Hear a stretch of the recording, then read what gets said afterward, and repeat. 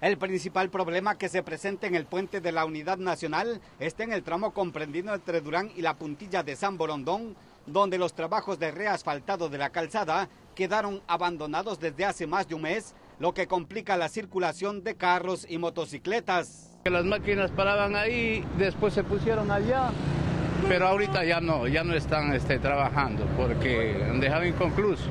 Los huecos, uniones en mal estado y las irregularidades en la calzada por la falta de asfalto han incidido para que ocurran accidentes de tránsito, sobre todo de motorizados, por lo que muchos han optado por circular por la ciclovía. Por estar el piso así rastrado, ya tiene más de un mes que no arreglan, ya hubo dos muertos en la madrugada.